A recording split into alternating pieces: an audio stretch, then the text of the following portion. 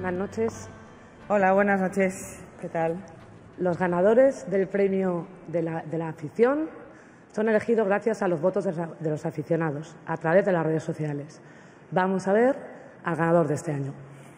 Ay, ¿qué sería el fútbol sin los aficionados? Correcto. Bueno, pues aquí lo tenemos. El ganador del premio jugador de la afición de la temporada 2014-2015 es Cristiano Ronaldo. Recoge el premio Sergio Ramos.